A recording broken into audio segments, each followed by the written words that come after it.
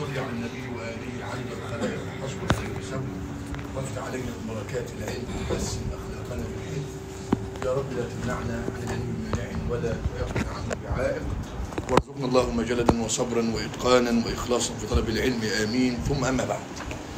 آه، حقيقة في هذه الأجواء المباركة وهذه النفحات ومدرسة الحج المباركة فنسأل الله تعالى أن يعني يتقبل من حجاج بيت الله الحرام. وإن كنا لم نذهب فيعني القلوب معلقة. يا راحلين إلى البيت العتيق لقد سرتم جسوما وسرنا نحن أرواحا. إنا أقمنا عن عذر وعن قدر ومن أقام عن عذر كمن راح فنسأل الله أن يعيد علينا الأيام بخير ويمن وبركة وأمن وسلام. سائلا المولى عز وجل آه، لنا ولكم آه، العافية والانتفاع بالوقت والإخلاص لله في أقوالنا وأفعالنا إنه على ما يشاء قدير وبالإجابة جدير. آه، حقيقة الأسانيد الحلقة الثالثة من تكوين الملكة الحديثية طبعا حقيقة ننبه قبل البدء على آه، منظومة علم الحديث المباركة وكيف يصل إليها الباحث الجيد. خاصة آه، وأنا بأجد سؤال يلح علينا إن غالب آه، الطلاب ما عندهم قراءات أعني للكتاب وأنا أمس كنا في معمل التخريج أو في امتحان التخريج في كلية أصول الدين. كان بعض الطلاب يظل ساعة آه، في مسند أحمد أو في سنن أبي داود آه، لا يعرف أن يخرج الحديث لا لشيء. طالب قال لي أنا لا أحضر ولا محاضرة. فكيف آه، يعني أن يبغي آه، ذاكم العلم آه، بدون آه، حضور وبدون قراءة؟ آه، أيضا في مسألة يعني مسألة الكتاب الورقي. حقيقة أنا من خلال في ضوء الخبرة آه، يظل الكتاب الورقي آه، هو يعني آه، ضابط لطالب العلم يعايشه ويعايش ال- الورقات خاصة مع إعطاء الروابط. فممكن الطالب يكون لأن بعض الطلاب الآن كلف بالمكتبة الشاملة. ويقول أنا عندي مكتبة بها مثلا عشرين ألف كتاب أربعين ألف كتاب ستين ألف كتاب. ما الفائدة؟ لا فائدة تذكر. كان الأولى من كل ستين ألف كتاب أن تقرأ ولو كتاب في مصطلح الحديث. يعني لو تقرأ اختصار علوم الحديث تتقنه أو تتقن تدريب الراوي. يجزي عن ستين ألف كتاب. ما الفائدة أن تقول عندي نهر ولا أجد ولو شربة ماء؟ يعني ما, ينفع. يعني كالعيس في البيداء يقتلها الظمأ والماء فوق رؤوسها محمول. فهذه إشكالية أن الطالب آه، يعني يصل إلى بغيته من العلم بالمنهجية. آه، تكون الملكة عبر منهجية مشايخ. آه، أنا طالب العلم المبعثر الذهن يقلقني لا أحب هذا.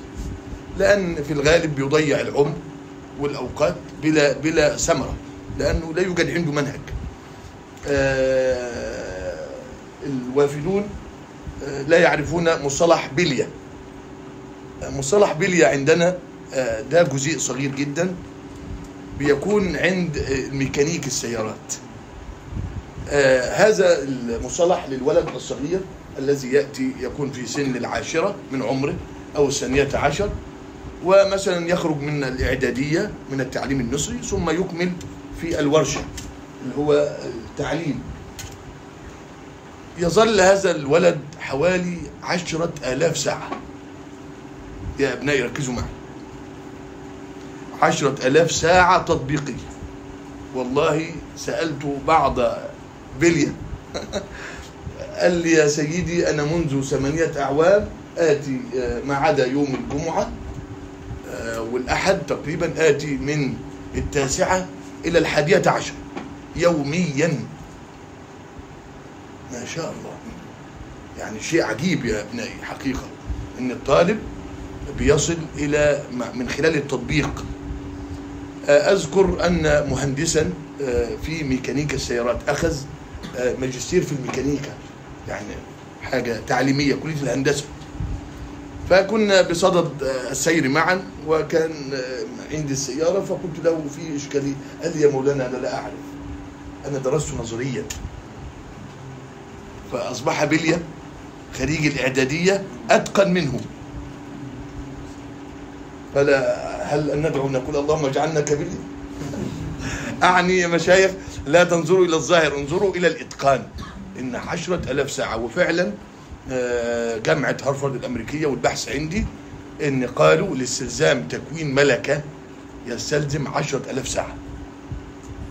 حتى قالوا إن جراحات المخ والأعصاب الدقيقة تستلزم سبعة عشر ألف ساعة.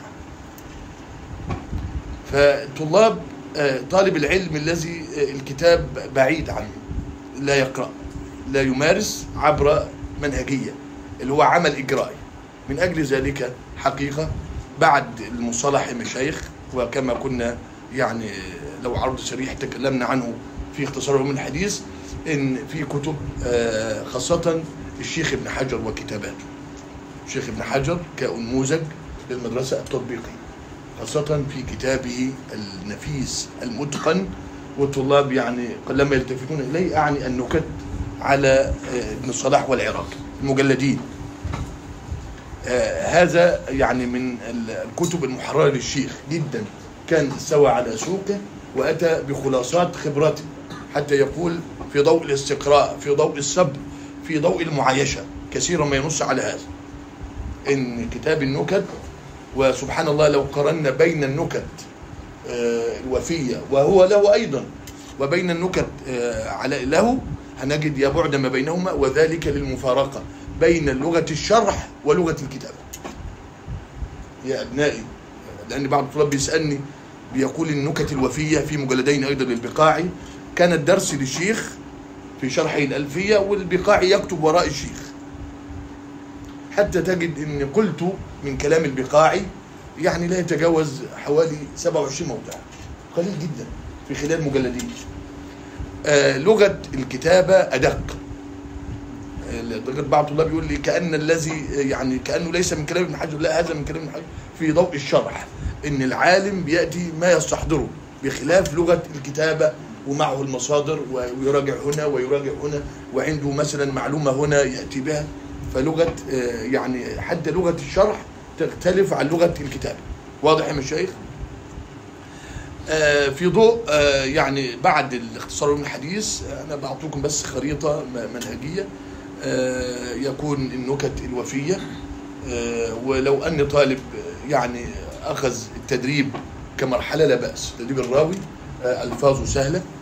تدريب ما شاء الله السيوطي لغته سهلة في العلم ليست لغة آه، صعبة أو آه، أو مثلا فيها آه، تعقيد أو يعني إضاءة يعني لغة بسيطة جدا. الشيخ السيوطي حقيقة رحمة الله عليه يمتاز بعذوبه الفاظه وسلاسة الكتاب.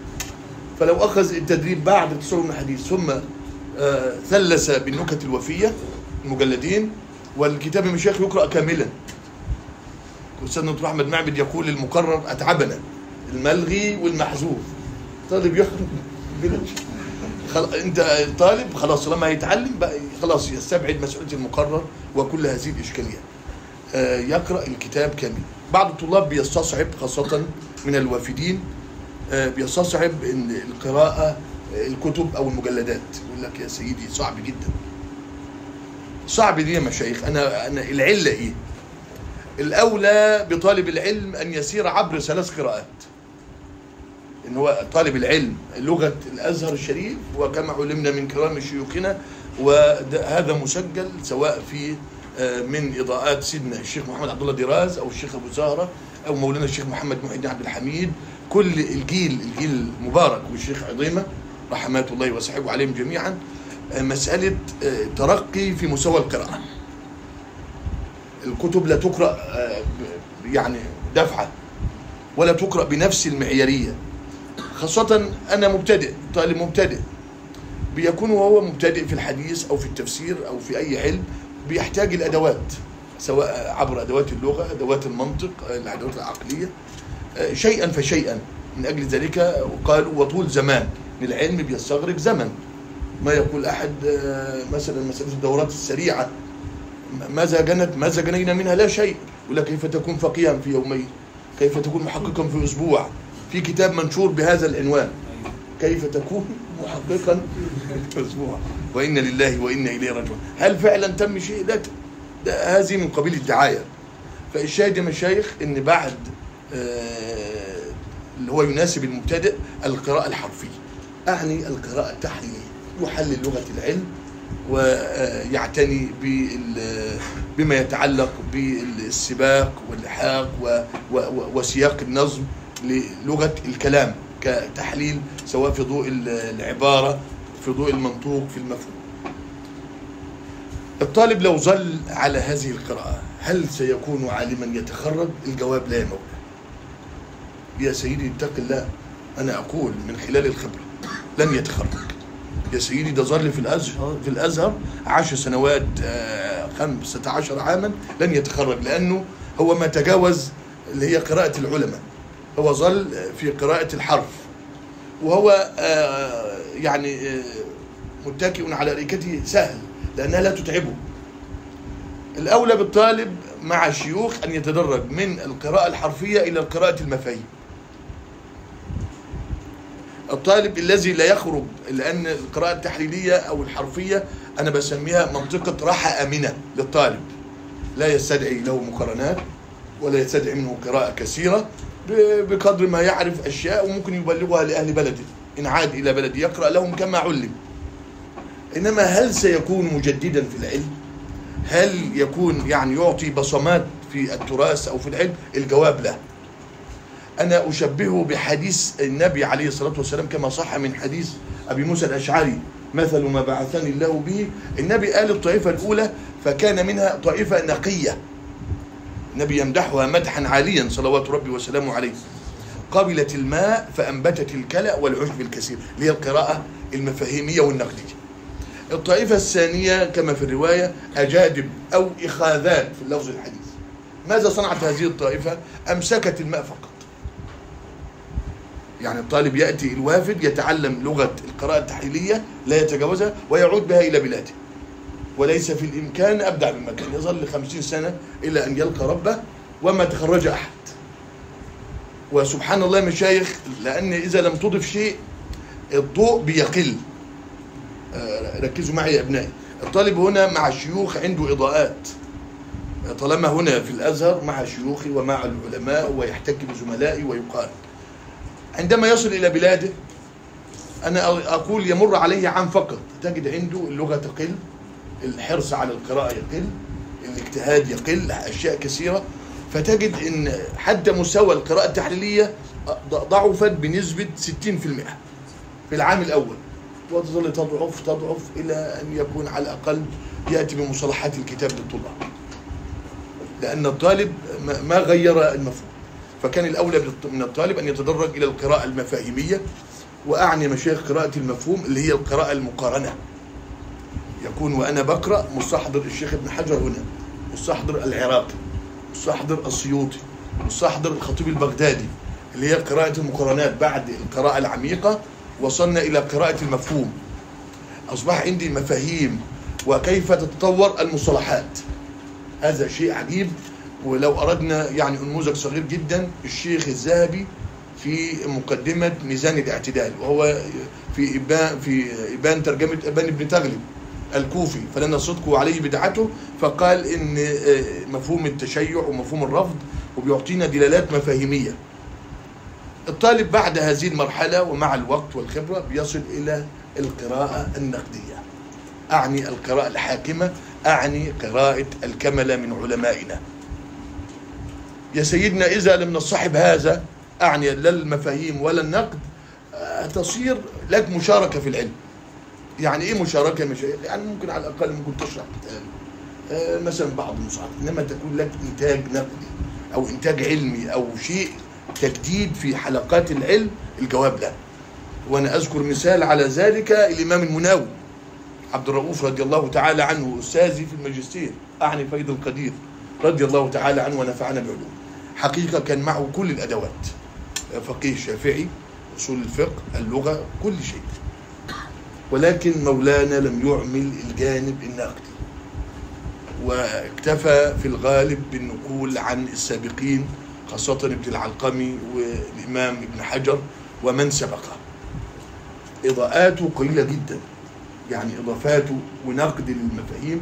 من أجل ذلك لا تجد له كشهرة في الحديث رغم أن له إنتاج سواء الفيض وغيره وله في المصطلح. ولا تجد حتى لها ذكر في المحفل الحديث أو درس الحديث.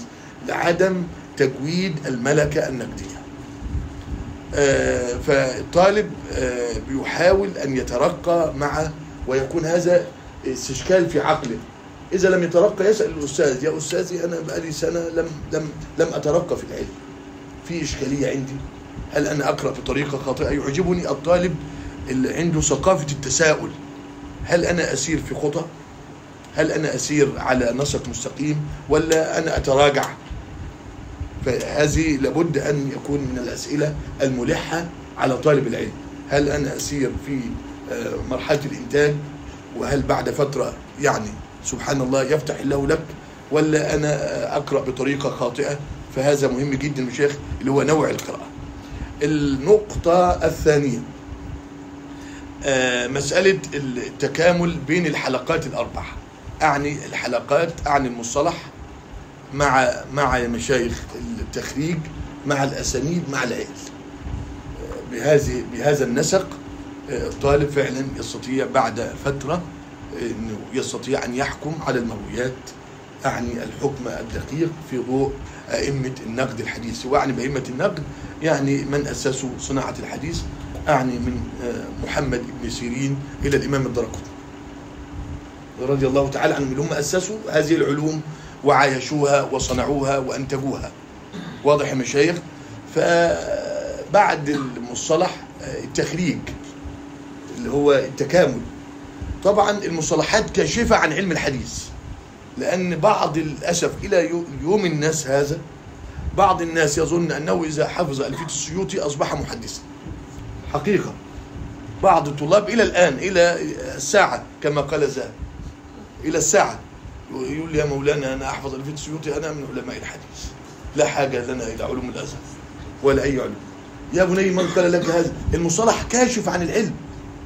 مصطلح ليس يا أبني لما أقول أقول لك هذا منكر. أنا بكشف لك عن آه، يعني آه، تطوير المصطلحات. إنما لما أعطيك سنن آه، أبي دا آه، أعني أبا داود أقول لك يا بني وقال أبو داود هذا منكر. وضح لي يا بني ما هذا.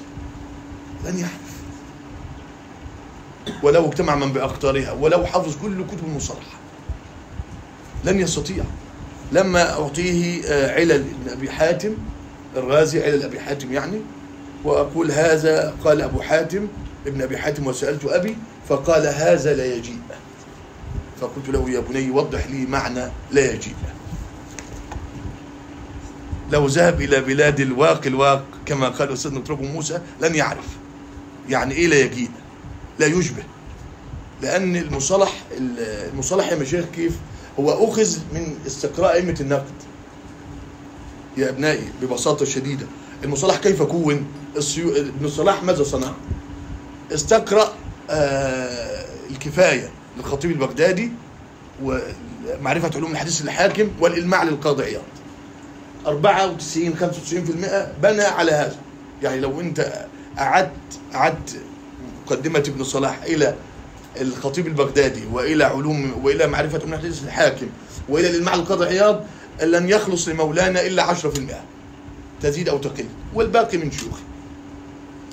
هكذا كون المصطلح. إذا أردت أن أفهمه لابد أن أعود إلى الإطار التطبيقي. يا أبنائي يعني هذه آه، يعني من فضول الخبرة في علم الحديث. أود أن أفهم مرة ثانية المصطلحات أن أعود بها لمن أسسها. كما نقول إن العلم يحاكم ويفهم بأدوات إنتاجه المنتج مين؟ البخاري. فأعود تاني للبخاري في التاريخ وفي كتبه. المنتج مين؟ أعني أبا حاتم الرازي أعني أبا زرعة أعني مسلم أعني أبا داود وهكذا. أرجع إليه. إذا أردنا أن نفهم المصطلحات لأن فعلا حقيقة آه، كان في بعض المصطلحات يا مشايخ آه، ضاغطة علي. ظللت حتى بعد الدكتوراه. أحفظها وقد يعني أجود وأستعين بكل كتب الشروح لا أجد من يشفي لي الغلة يعني فعلا لا لا أعيها. لما دخلنا في الإطار التطبيقي خاصة عند عند سفيان الثوري كنموذج أو شعبة وجدت المصطلحات سبحان الله ظاهرة ووضحت لي وضوح العين. بسبب إن إذا أردنا نفهم المصطلح نعود مرة ثانية. فكان منهجي من تكوين الملكات إن نستطيع أن نصل إلى أئمة النقد. نحن الحمد لله مشايخ تجاوزنا إن آه، لأن للأسف في الدراسة الفقهية الفقه الشافعي لا نتجاوز النووي. نحن الحمد لله تجاوزنا أننا نصل إلى مسلم. نقرأ التمييز لمسلم. ونقرأ يعني أبا حاتم الرازي. خلاص الحمد لله وصلنا إلى المؤسسين في بعض ال- الحقول الأخرى في العلوم اعني في أصول الفقه أو غيره لا يصلوا إلى المتأخرين يعني لا يتجاوزوا المتأخرين. فالحمد لله رب العالمين إن كونك كون الطالب نصل به إلى أن يقرأ النصوص المؤسسة هذا شيء جيد جدا. بل يقول بعض شيوخنا لو وصل الأستاذ أن يعبد الطريق لطلاب العلم أن يصل بهم إلى المراحل المؤسسة لكفى إن هو يخلي بين طلاب العلم ويتجاوز من من إطار المعاصره إلى المتأخرين إلى من أسس المعرفة. ده شيء جيد جدا. ده هذا حتى لا يوجد في التراث الغربي. لا يستطيعون حتى في الأدب أن يصلوا إلى شكسبير في القراءات الغربية. فكونك تتجاوز إلى المؤسس ده شيء آه، عالي جدا يا مشايخ. أعني بوابة ال- المصطلحات والربط بينها وبين الطب. بيأتي التخريج وده علم قوامه الممارسه يا مشايخ. آه والله تقول أنا م- آه أقلد لا قوامه آه، أنت تجلس مع الأستاذ أو الشيخ أو كذا وتعرض عليه ويقول لك هذا خطأ هذا صواب الصيغه هذه دقيقة. هنا فروق متن هنا كذا هذا يقدم. خلا هذا مشايخ هيكون عندك معلومات نظرية. آه، يليه ما نحن فيه إن شاء الله وسنعرض بإذن الله تعالى. ونأتي في بعض الأحيان بالبروجيكتور وضوء التطبيق آه، وهذا التخريج يسلم لدراسة الأسانيد ودراسة الأسانيد ما نحن فيه إلى باب العلل وبذلك تستقيم الملكة عند طالب الحديث. يتخرج آه، منها في خلال عامين ثلاثة أعوام ما شاء الله يصل إلى مستوى لا بأس به من آه، المناقدة للأحكام يعرف كيف يوازن بين الأئمة آه، يعرف مفاهيم الشيخ ابن حجر ماذا يعني بهذا الكلام. يصل إلى الخطيب البغدادي يصل إلى مثلا قول لابن مهدي 198 هجرية يصل إلى ابن نمير يصل إلى حماد بن سلمة لو نص. ما شاء الله. كده هذا ما نبغيه يا مشايخ ب- عبر هذه البوابة يتخرج الطالب حقيقة. يتخرج فعلا. هذا التدرج معيار التخرج. شريطة من الطالب يشترط اللي هو المشايخ ألا ينشغل بغير العلم. وأن يبذل الجهد الكبير. يعني مثلا طالب من الوافدين وعنده عسر في في بعض الفهم يضاعف الوقت. لا بأس يضاعف الوقت.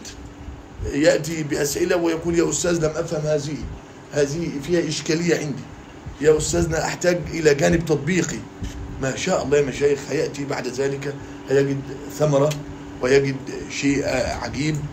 حقيقة أنا لاحظت بعض آه، أقراننا يعني هو يعتبر أكبر منه ومن الوافدين آه، من دولة بنجلاديش كنموذج يعني وهو الدكتور محمد نور الأبصار. نسأل الله أن يحفظه وأن يبارك فيه. حقيقة الشيخ محمد الدكتور محمد الآن نموذج آه، جميل وبديع من الطلاب الوافدين. ما ذهبت إلى إلى مكان إلا وأجده. ونحن إبان الطلب يعني. إن ذهبنا إلى مكان بعيد أجده أسبق. معهد المخطوطات أجده آه، نذهب معا إلى كان يسكن في منطقة تسمى صقر قريش. فكان يبذل جهد كبير جدا ومثلا يتصل بنا وبغيرنا ويعني أستاذنا الدكتور أحمد معبد حفظه الله. فكان محمد يبذل جهد غير عادي حقيقة. آه، تأثير إيه الثمرة؟ أنا أقول من واقع معايشتي لحوالي آه، يعني 28 28 رسالة دكتوراه. في أصول الدين قرائن الترجيح آه، الجمع والترجيح بين الإمامين أعني أبا زرعة وأبا حاتم. أمثل رسالة هي رسالة الدكتور محمد. مشايخ في باب دقيق جدا. لدرجة بعض زملائنا كان يتشدق برسالة معينة فألححت على صاحبها وراجعتها كاملة. فوجدته واخد من الدكتور محمد. حتى المقدمة نقلها من الدكتور محمد بدون عزو. هذا طالب وافد ونموذج فأنا بشحذ طلاب العلم إن في نماذج. يعني ما شاء الله فاق كل المصريين. حقيقة فاق في رسالتي كل المصريين. والرجل يعني ما العلاقة إلا العلاقة العلمية. دي شهادة. يعني ما قال لي كل هذا عنه. وهو حتى لا يتصور أن أقول هذا. حقيقة. فعلى حسب ما بذل على حسب ما صنع. هذا ما ما- نحتاجه من طلاب العلم. ألا يحقر أعني نفسه ويقول أنا لا لا ب- يا ضيعت الرحلة يا ضيعت الغربة عن الأوطان إلى آخره يا ابنائي فطالب العلم يكون ضنين بوقته ضنين بمستوى المنهجيه هل وصلت؟ إذا يحدث خلل كل عام يراقب نفسه يجود ويسأل الاساتذه ويسأل مستوى الفهم. أعني يظل عنده مراقبة دقيقة لمستوى. قياس المستوى. من أجل ذلك يا مشايخ أنا بقول لطلاب العلم على الأقل مبدئيا إن هو بيشرح مثلا 40 نووية. خذها كنموذج في طالب الحديث أو أي علم. كل يوم يعني كل أسبوع آه، ولو يكن حديثا اجمع كتب الشروح ويكون معك آه، مذكرة لك أو شيء تحتفظ به وتقول هذا مثلا في 2023 لماذا أصنع هذا؟ هيأتي بعد 2030 وتنظر إلى الكشكول هذا أو الأجندة هذه.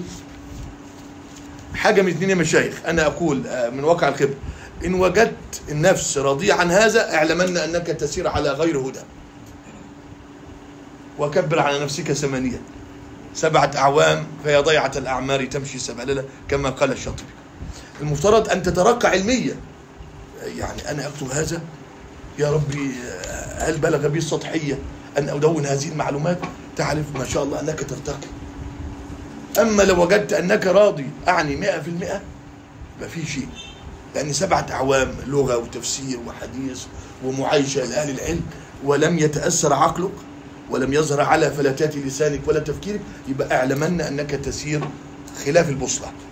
كأنك في واد والعلم في واد. أنا بنصح كل طالب يصنع هذا. يراجع كل فترة ما كتبه يقول لك سبحان الله أنا كنت أدون هذه المعلومات هذه معلومات فهو بيستنكر لأنه كان في الأول ما عنده شيء. والله أخرجكم من بطون أمهاتكم لا تعلمون شيئا. وكما قال الذهبي ال- ال- الزهري إن الرجل يطلب العلم وقلبه شعبه من الشعاب يعني ضيق. ضيق يعني عنده معلومات بسيطة أي معلومة بينقلها. ثم لا يلبس أن يصير واديا.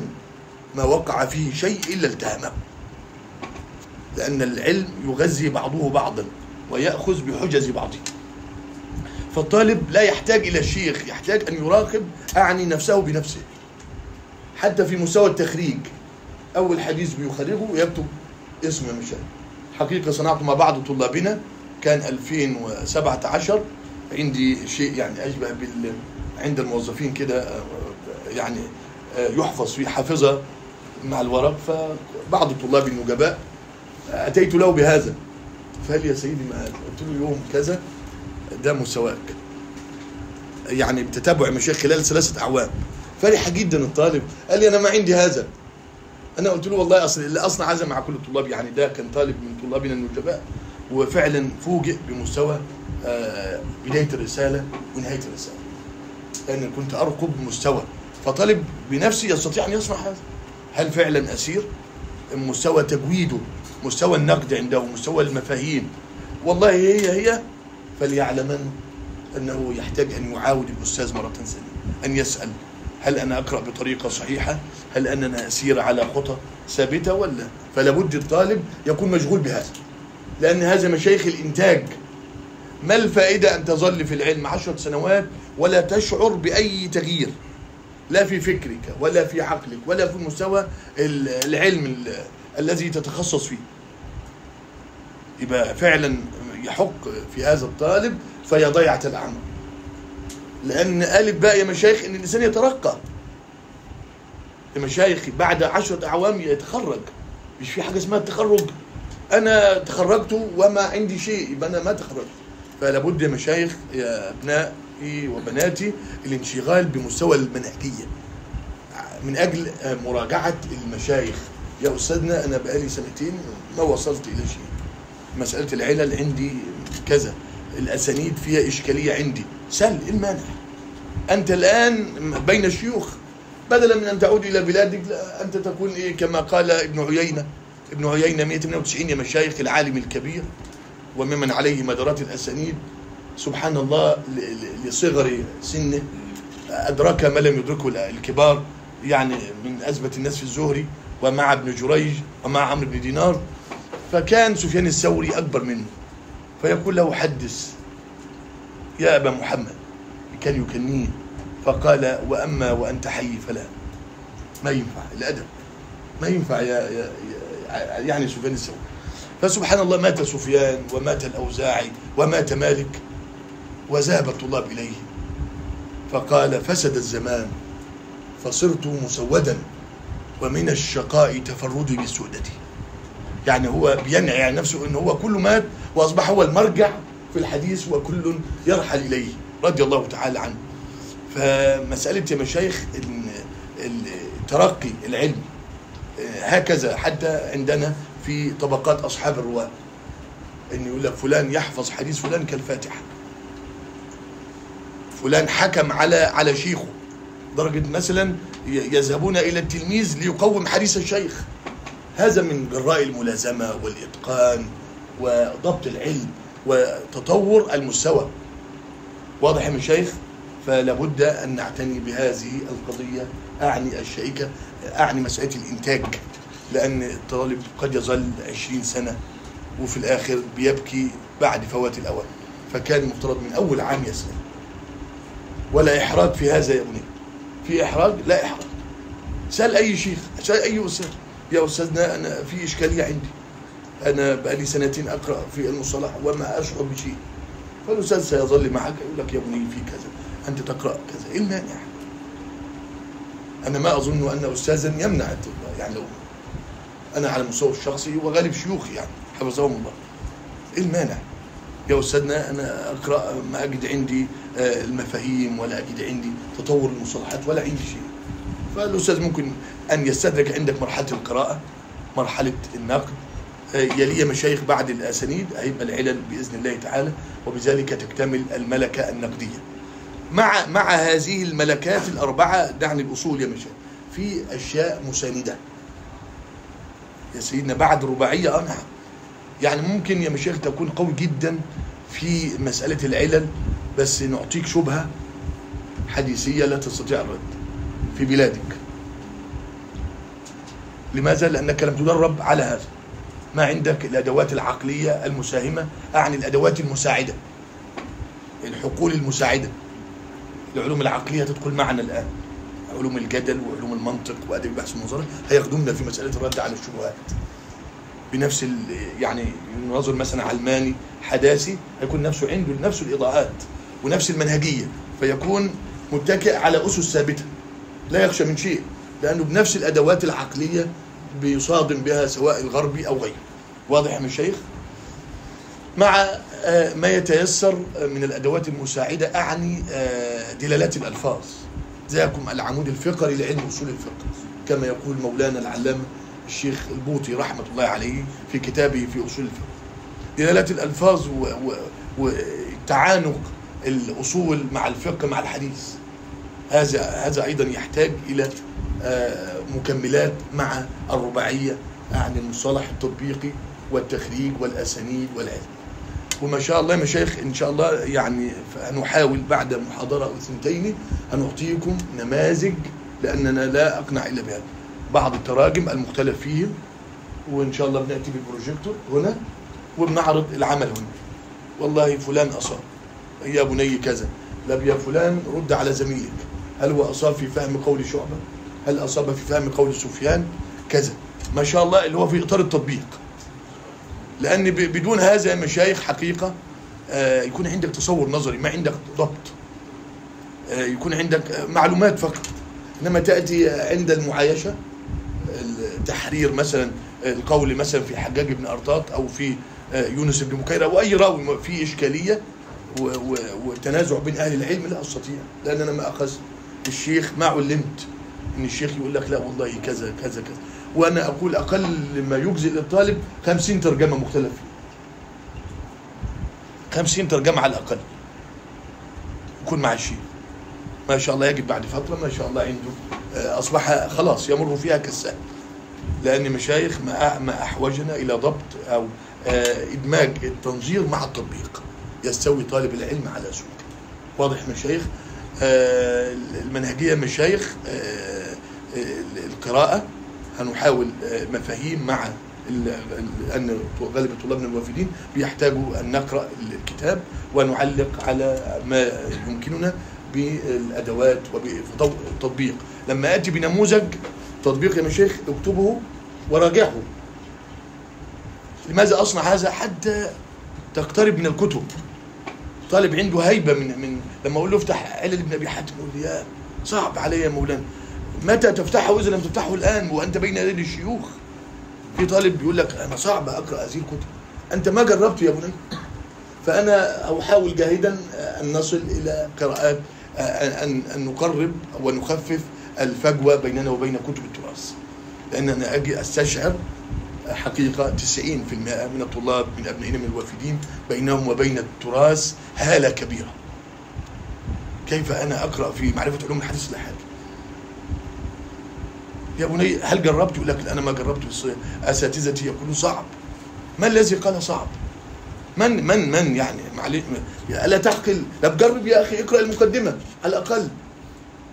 إن صعبت عليك حاول مرة ثانية اذهب إلى الأستاذ يا أستاذنا كيف تقرأ؟ نقرأ هذا الكتاب. لماذا نضع بيننا وبين العلم أعني من العوائق الإسمنتية الحاجزة؟ لأن إذا لم تصنع وأنا اذكر على المستوى الشخصي مشايخ علل ابن أبي حاتم ولا أمل من هذا.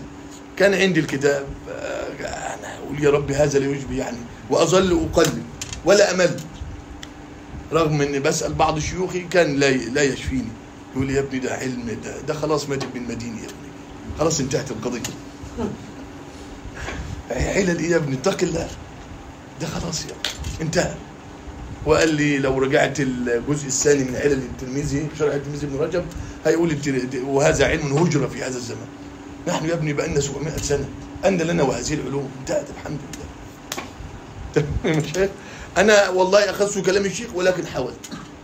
ما أمكنني وأقلد وكذا إلى أن فتح الله لنا ف يعني ما نضع بيننا وبين القراءة. أن تجرب أولا لا تقل آه، صعب. أنت ما جربت حقيقة. جربت وفي إشكالية سل. سل يا بني. سل الأستاذ وهكذا مش حتى يفتح الله لنا النقطة قبل البدء في قراءة الكتاب مسألة آه، كل يوم نقرأ. يا سيدنا ده نحن كذا وعندي ظروف. خلاص يا بني ظروف أخرج من هذا الباب. أستاذنا أنا أذكر آه، نموذج بعيد يعني عن الأزهر وإن كان هو آه، من آه، علمائنا المصريين ولا وما يخال أحد من طلاب العلم يعرفه العلامة الدكتور حسن حبشي راهب المؤرخين العرب. الرجل ظل إلى قرابه 96 عام. الدكتور حسن حبشي حقيقة بعض آه، الدكتور عبد العظيم رمضان تلاميذ من تلاميذه يقول كنت أتصل بالشيخ في الرابعة الرابعة صباحا فأجد الشيخ في مكتبه يقرأ. كان بيظل في المكتبة قرابة تسع عشرة ساعة في اليوم. الشيخ عاش إلى كم يا شيخ؟ 96 عاما. لدرجة آه، الدكتور عماد الدين خليل عراقي عالم كبير من علماء السيرة وعلماء التاريخ. الدكتور عماد الدين خليل يعني من من الكملة من الشيوخ.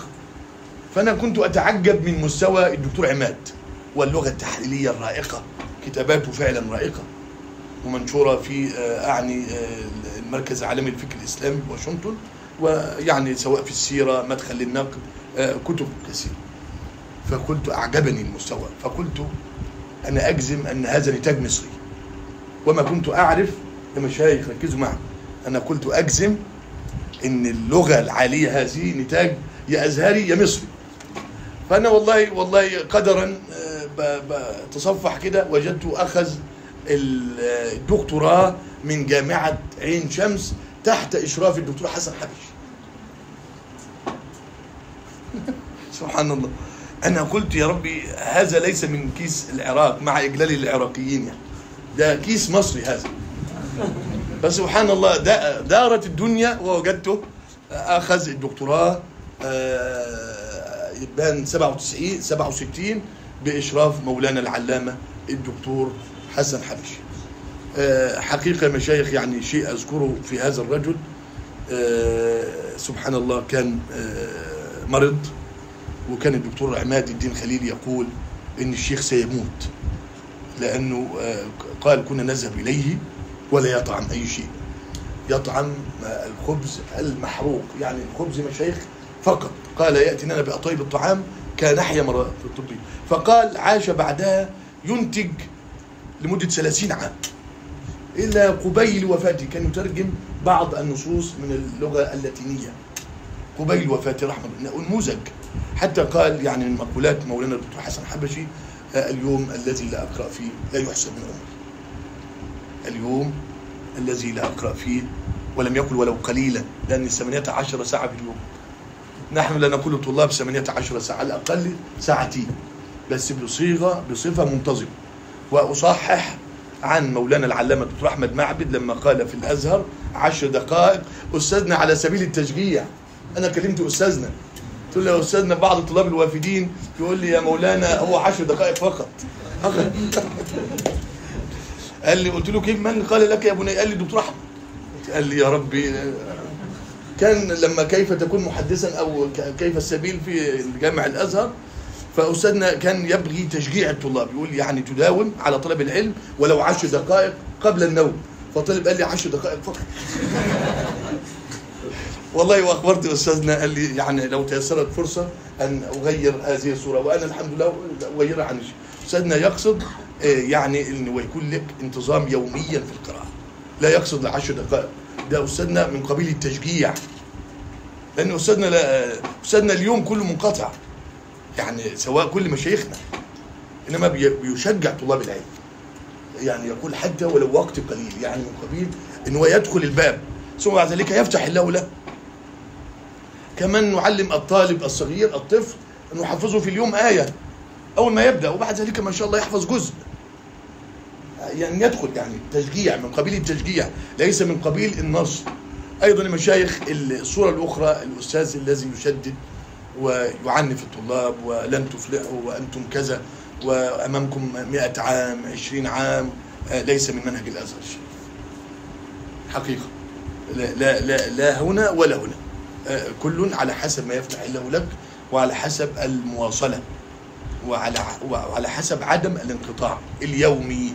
ولو قليلا وكان حد من نصيحة أستاذنا آه، مسألة. كان أستاذنا مش يعني من المش... مشرفا عليها في رسالة الدكتوراه فكان يقول لي افتح الجهاز الكمبيوتر. واكتب كلمة أخرجه في التخريج يعني في رسالة وأغلق الجهاز فقلت له يا أستاذي ما الفائدة؟ يا أستاذي ما الفائدة؟ قال لي مع- معذرة اسمع الكلام جرب هذا أنا فعلا حقيقة يعني الفائده أن أفتح الجهاز وأكتب كلمة اخرجه مثلا البزار وأغلق الجهاز. أستاذنا كان بيرمي إلى شيء اللي هو عدم الانقطاع عن البحث. لأن لما بتنقطع عن البحث شهرين أو ثلاثة بتصنع هيبة بينك وبين البحث. قد لا تعود إليه. بعض زملائنا كان يود اللي هو يتفرغ في البحث فانقطع حوالي أربعة أشهر. إلى الآن منذ ستة أعوام ما عاد إلى البحث. فكان مقصد أستاذنا حفظه الله وأدام النفع بفضيلته إن لا تكون حاجز بينك وبين كل يوم تقرأ ولو قليلا. فبذلك يزول الحاجز يعني. هذه آه، إضاءات الكبار من شيوخنا. فنسأل الله أن يبارك فيكم ونبدأ يا شيخ موسى على بركة الله تعالى. صحيفة رقم أعني آه، 27 اقرأ مولانا. بارك الله آه نعم.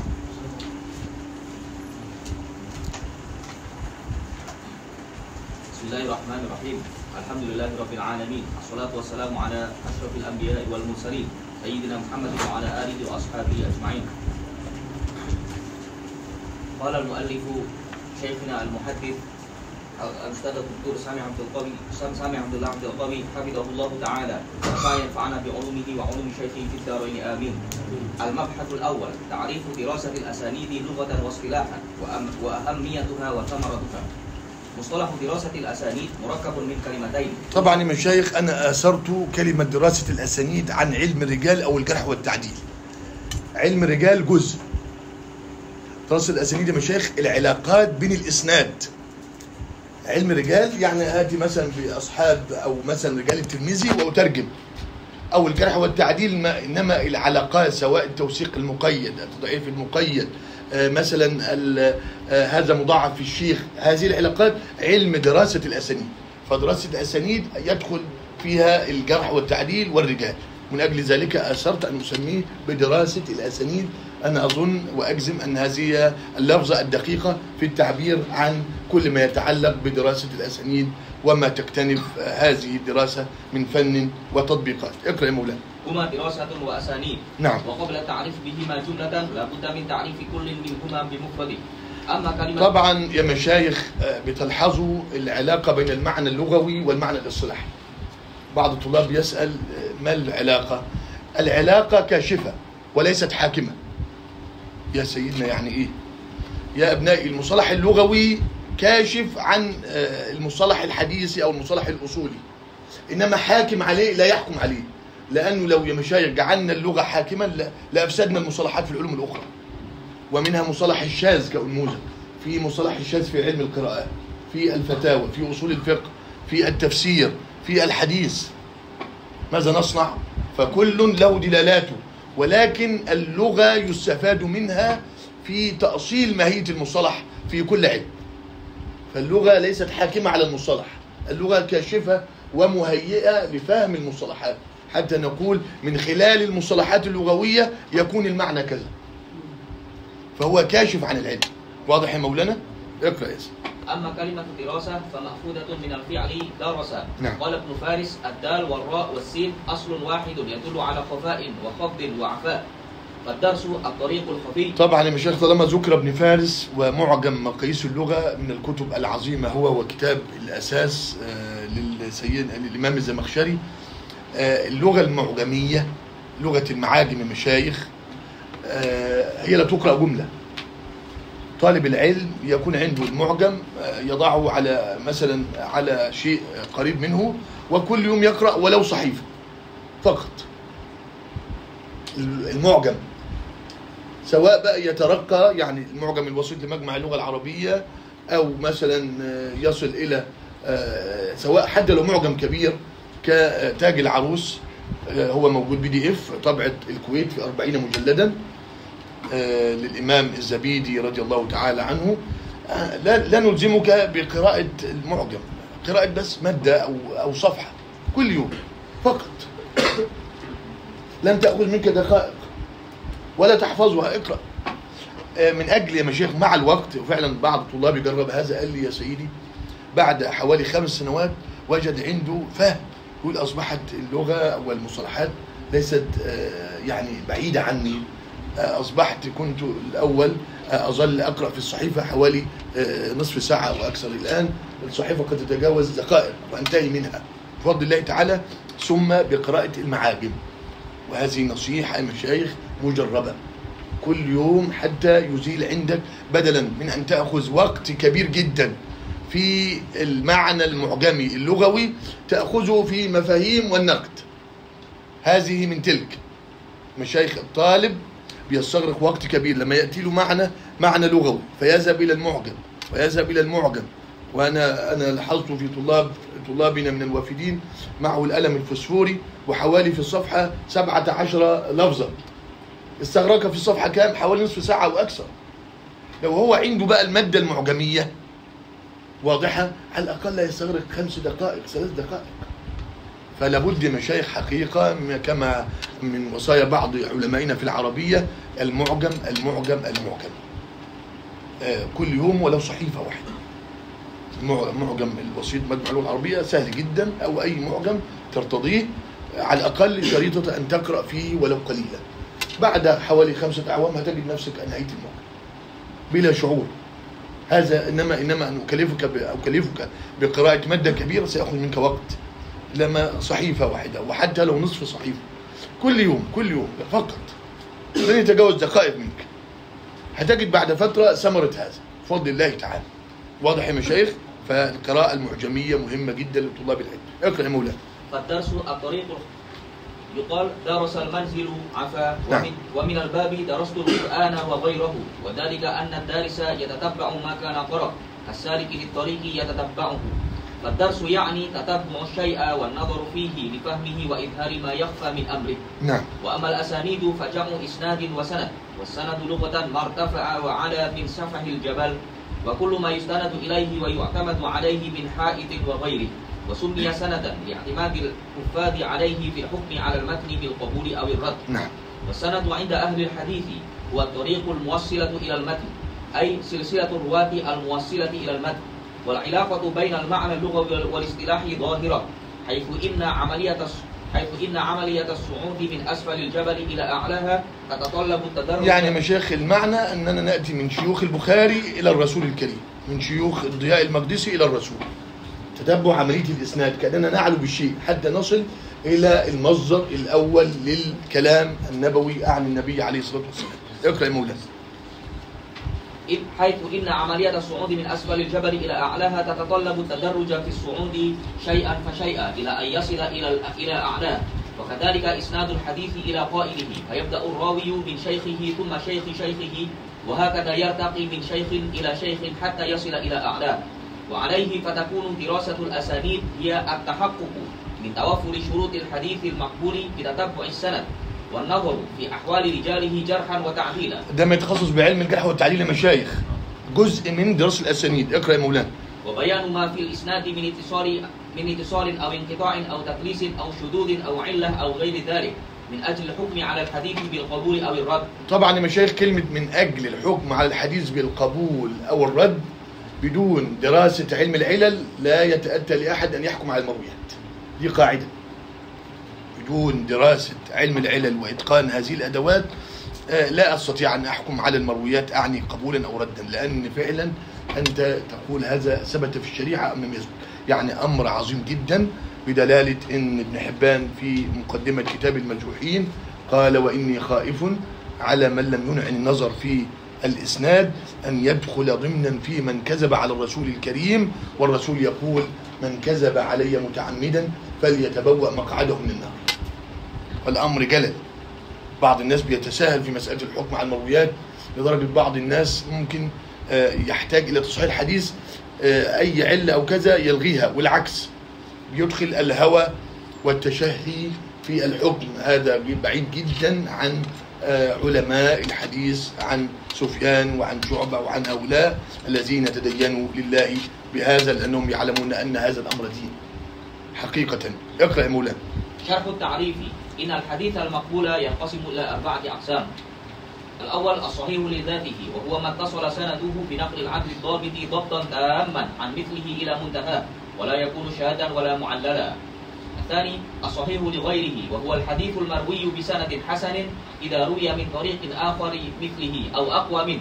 وكذلك المروي بسند ضعيف إذا روي من طريق آخر. طبعا المسألة خلاص يعني أصبحت مستقرة في وجدان طلاب العلم إن أعني المتابع يأخذ حكم من تابعه وإن دي أمر بدهي إن الصحيح الحديث يرتقي من الضعف بالمتابع الصحيح. وكل الإشكالية تنشأ في ذهن من؟ إن هو نظر يا مشايخ نظر إلى المتابع. يعني نظر إلى ابن لهيعة. كان الأولى في عملية التصحيح بالمجموع أن ننظر إلى المتابع. بدلالة أن ابن لهيعة إذا لم يتابع يظل ضعيفا. فالعبرة في عملية التصحيح بمجموع الطرق أن ننظر إلى المتابع وليس للمتابع. ابن لهيعة على ضعفي لأن بعض الناس ناقشني قال لي يا مولانا ما ابن لهيعة ضعيف. قلت له مولانا أنا أجزم والراجح فيه الضعف. ولكن نحن بضميمة عمرو بن الحارث الإمام الثقة فاعتمدنا على ابن الحارث لم نعتمد على ابن لهيعة اعتمدنا على عمرو بن الحارث بدليل أنه لو لم يوجد عمرو بن الحارث هيكون الحديث إيه؟ ضعيف. واضح يا مشايخ؟ فنحن نظرنا إلى المتابع اللي هو الثقة. فباعتبار الضميمة الحديث هو مجموع الطريقين يصح لغيره. لأن بعض الناس بتاتيه الاحتمالات العقلية وكذا وكيف يكون ضعيف. نحن حتى في الأمور المحسوسة مسألة الجبر آه، أو الجبيرة. هل يا مشايخ لما يصنع الطبيب لما الإنسان آه، نسأل الله العافية للجميع يصاب بشيء ويصنع هل تزيل الضعف؟ طبيا لا تزيل تقوي حتى يستقيم إنما هل هي زالت؟ لا حقيقة يا مشايخ مهما حتى لو صنع إيه لن يلتئم ويعود العضو إلى ما كان عليه. يا مشايخ هل يعود؟ من خلال الخبرة عندي أنا لأن أنا أصبت في زراعية وأنا في الثانوية الأزهرية فلم تعد يدي إلى حالها الأول. بعد مضي هذا الزمان والذهاب إلى كذا. طبيب حتى قال لي آخرهم استحالة. واضح يا مشايخ؟ فالشاهد إن معنى الجبر هنا التقوية الشد بالطرق. لا نزيل الضعف. المتابعة تقوي الضعيف لا تزيل ضعف هيظل ابن لهية على ضعفه ولكن بخصوص المتابعة في هذا الطريق ارتقينا بحاله إلى الصحيح لغيره. اقرأ مولانا. إذا روي من طريق آخر صحيح فالمتابع يأخذ حكم من تابعه كما نقله الحافظ قاسم بن قطلب الحنفي نعم. عن الحافظ ابن حجر. الثالث الحسن لذاته وهو ما اتصل سنده بنقل عدل خف ضبطه عن خف ضبطه عن التمام من غير شذوذ ولا علة. طبعا آه، سئلت في مسألة مشايخ خفة الضبط دي كيف يقيسها المحدثون تمام الضبط وخفة الضبط الحمد لله مشايخ عندنا حاجة اسمها علم المقارنات الدقيقة بين الرواة اللي هو عندنا ما قاله ابن المديني الباب إذا لم تجمع طرقه لم يتبين خطأه. بالمقارنات بيكشف إن هو علم العلل اوهامه كذا وهم يخف آه، يظل مثلا لأن عندنا صدوق له أوهام وثقة له أوهام. إيه الفارق بينهما؟ آه، تعداد آه، مروياته ونوع الخطأ. في بعض الناس يقول لك هذا الحديث دمر مئة ألف حديث لشدة الخطأ. يعني مثلا يا مشايخ أنا أقرب لكم الصورة. بعض الطلاب مثلا يأتي لي في ورقة الإجابة ومثلا يجعل البخاري آه، كأنه بعد ابن حجر. شوف البخاري 256 وابن حجر 852 فجعل كأن البخاري من تلاميذ ابن حجر. فده خطأ فاحش. فده يلغي المادة كلها. ده لو في رسالة علمية والدكتور مثلا ما عنده يملك أعصابه هيلغي له الرسالة لأن دي وحدة سقطة عنيفة. فالعلماء يا مشايخ لهم ضبط حاجة اسمها مقاييس الخطأ. ده شيء دقيق عندنا. ويحتاج إلى كتابات. ليس الخطأ يعني رجل بيهم بيبدل راوي مكان الواصل ابن حيان أو كذا أو عمرو بن يعني بيبدل رواه برواه بخلاف لما يخطئ خطأ فاحش أو يأتي بلفظة ليست لغير ليس لتابعي يلصقها بقول النبي عليه الصلاة والسلام. يقول لك دمر علي هذا الحديث. هذا يسقط مائة ألف حديث. فحتى قالوا لو تكرر هذا منه لأسقط لقلنا بذهاب حديثه كما قال أبو حاتم الرازي. فهذا معيار مهم جدا مش نوعية الخطأ ومتى يقبل منه وكمية المخالفات. آه، بعضكم يقول يا سيدنا كيف عرفاه؟ يا مولانا كأني مع كمبيوتر. أبو حاتم الرازي يحفظ المرويات. بعض الطلاب. لأنه عدم. عدم تصور عصر رواية أبو حاتم الرازي المرويات عن شيوخ ففي في أقل من ثواني بيصنع عملية إجرائية. لدرجة مثلا آه، ول- ولده يسأله ما تقول يقول لا أدري. حتى يسأله الوهم ممن؟ في العلل فيقول لا أدري. أعني أبا حاتم الرازي الإمام الكبير. لأنه بي- بيصنع عملية إجرائية لم تسعفه في خلال المحفوظ. فبعد ذلك إما أن يسأل يسأل بعض أقرانه أو يذهب إلى الكتب بقى عنده يراجع مرة ثانية. فهذا يدلل لمشايخ إن في عندنا ثقة له اوهام العلماء يعني دقتهم ما كان ممكن يا مشايخ أن يسووا بين كل الشيوخ. وهذا يدل يدلل على معيارية علم الحديث. علم معياري دقيق يا مشايخ. ما عندنا ثقة وكله ضعيف وضعيف. لا شوف نفرق بين الضعيف والضعيف جدا وما جعلنا الموضوع مع كذا. وعندنا ده هذا كذا وكل واحد له مرتبة. وألفاظ دقيقة جدا. لا تقال على عوائله وهذا يدلل على الدقة الشديدة. إن هم يميزوا بين الثقة الذي له أوهام والصدوق الذي له أوهام. هو يا مشايخ كأنه معه عملية إجرائية. وأدلل على هذا بأبي حاتم الرازي عندما كان على باب أبي الوليد الطيالسي وقال آه، أبي داود أعني أبا داود الطيالسي آه، آه، لا أبا الوليد. وقال اللي هو تلميذ شعبة قال من أغرب علي حديثا. ما كان يقصد الإغراب يعني يأتيني بما ليس عندي من أجل تجويد عملية النقد. لأن بعض الناس آه، بعض الصحفيين سألني كان بيكتب بحث عن البخاري فقال لي آه، يعني يا مولانا سؤال عقلي. قلت له وقال آه، لماذا لا نتوقع أن البخاري ومسلما رحمات الله عليهما فاتهما الكثير من الأحاديث؟ ما كان ك- كالآن في حاجة اسمها عملية المشايخ ال- لجنة الإحصاءات والبيانات. وكان هو يعمل في العاشر فخرج من القسم. اتصلت به يا أستاذ عد إلي. لأنه ما رأيت الكتاب. فلما قراته أول ما فتحته وجدت أنه يطعن في المحدثين بسبب اللي ما كان عندهم مشايخ إيه؟ مسألة أخذ الإحصاءات والبيانات كالقرن العشرين. اللي هو مشايخ لجان السكان إحصاء البيانات. فبيقول ما كان عندهم. هذا قلت له يا هذا أنت غفلت عن جانب كبير عن الرحلة. لماذا ظل بعضهم أربعين سنة في الرحلة؟ من أجل هذا. ولماذا يرحل البخاري كل هذه الرحلة مشايخ؟ رحلة البخاري بالكيلومترات ثلاثة عشر ألف كيلو. ثلاثة عشر ألف. والطالب يأتي من رمسيس إلى يقول لك يا أخي ده صعب جدا أنا أعود إلى بيتي. فمن أجل الرحلة مشايخ كأنه استغراق للبيانات. ويذهب إلى الشيخ ويذهب إلى الشيخ ويذهب إلى الشيخ من أجل مسألة تجويد قوائم الإحصاء. لدرجة عندنا تفرد أهل الأمصار يعرف من تفرد بهذا الحديث من غيره إلى آخره رحمات الله وسحيبه عليهم. فيعني مشايخ آه، لا ننخدع بأي كلام. أهل الحديث ما شاء الله مسألة الإحصاءات الدقيقة صنعوا من أجل تجويد عملية النقد كأنهم لم يتركوا لنا شيئا من أجل أن هذا الأمر دين كما هو من ديدنهم ومن معهود خطاباتهم وصناعتهم النقدية. اقرأ مولانا.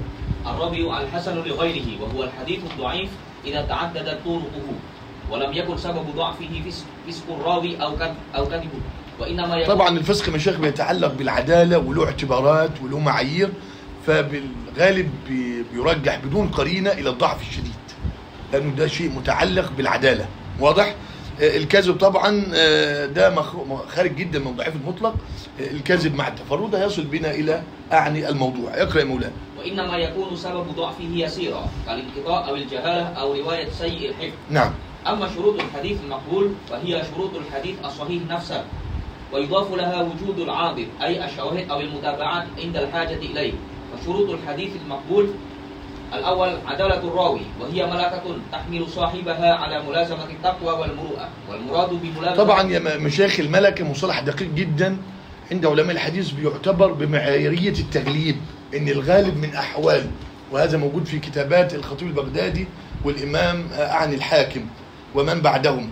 إن الغالب على أحوال الراوي العدالة وكذا والتقوى من أجل أن هذا يحمله على عدم الكذب وإنه عنده معيارية الخوف من ربه أن يضع في المرويات أو يدخل أو يلقن. فمن أجل ذلك ضبط المحدثون هذا. لأنه يا مشايخ أنا أقول لكم بصراحة بصراحة يعني مقارنة مع الواقع المعاصر أو بعض. عندنا حاجة اسمها السجل المدني اللي هو بيوثق شهادات المواليد. الرجل قد يكون موظفا يخشى من القانون إنما لو لم يكن عنده معيار العدالة ماذا يصنع؟ قد أعطيه ألف جنيه ويغير. يا مشايخ أنا أقرب لكم الصورة إن هو اشتراط العدالة من أجل ضبط هذا لأنه قد يكون عنده الضبط وما عنده عنده خوف يحجزه من محارم الله أن يكذب على رسول الله. فلا بد من الموازنة بين الأمرين. فالعلماء قالوا من أجل ضبطها التغليب إن يكون الغالب من حاله. لأنه إذا قلنا إن هو لا ينفك عن معصية هذا لا يتاتى للبشر. ولكن إن الغالب من احواله كان بدليل القول ابن المبارك من كان فضله أكثر من نقصه وهبنا من فضله لنقصه. إن هنا معيار. آه، التغليب من حياة المحدث من حياة الراوي يعني قد أتى بمعصية وتب منها انتهت القضية.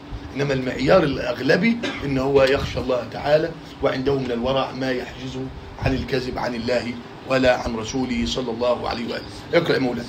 والمراد بملازمة التقوى الاستقامة على الدين نعم. واجتناب ارتكاب المفسقات كفعل الكبائر والإصرار طبعا. كل هذا يا شيخ موسى المشايخ يدور في إطار الأ- الأمر الأغلبي في إطار الغالب من حياته. اقرأ يا مولانا.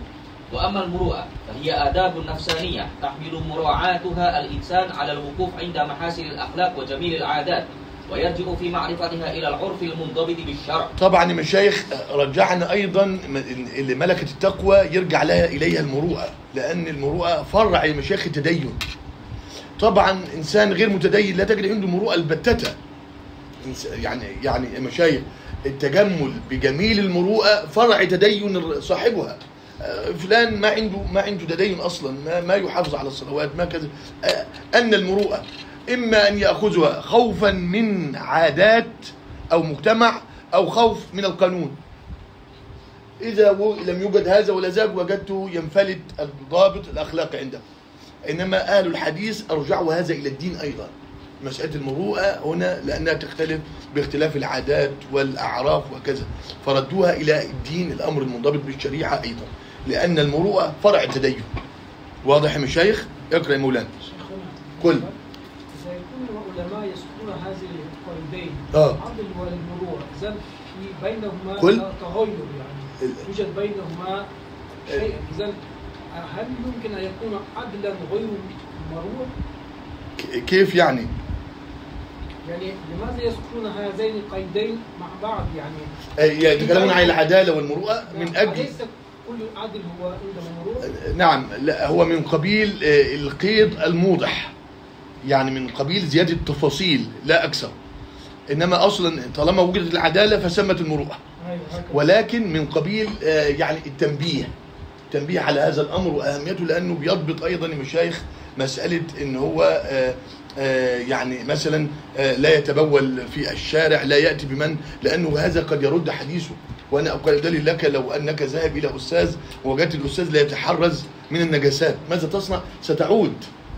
أنا أدلل لكم على هذا بأشد من هذا. سيدنا الشيخ ابن حجر لما عين قاضيا قاضي القضاة سيدنا ابن حجر أتى له بعض طلابه من اليمن وكانوا على مشارف اليمن فلما علموا أن الشيخ تولى القضاء رجعوا إلى بلادهم.